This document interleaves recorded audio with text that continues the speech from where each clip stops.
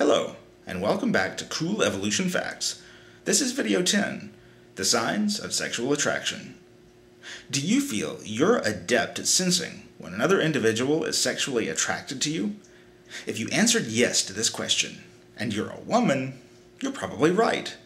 But if you're a man, you're probably wrong. Research has shown that women are far more adept at sensing the subtle signs of sexual attraction than are men. The reason for this is the difference in sexual strategies and reproductive strategies adopted by the men and women of our species.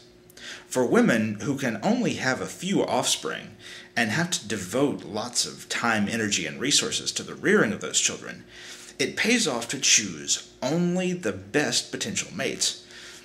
And it helps to know who potential mates are rather than simply determining this based on which men are around in total or which men approach the woman, it helps if she has a good idea of who might be sexually attracted to her, so she can turn down lesser men who approach her and wait for better opportunities.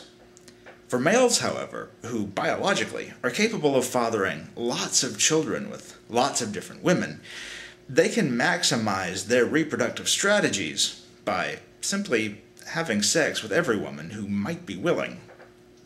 This isn't really benefited by an ability to know beforehand who will be willing, but chances are maximized instead by simply approaching everyone.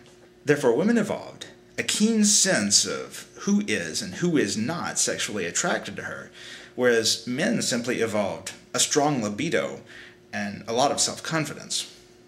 However, if you're a woman and you've been showing a man all of what you think are blatant signs that you're interested in him, and he still seems oblivious, he just might be.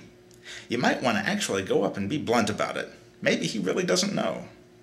Anyway, thank you for watching. Um, if you haven't already, I hope you'll subscribe and like, leave any comments you're interested in leaving, and share and come back and watch other videos in this series. Thanks again. Until next time.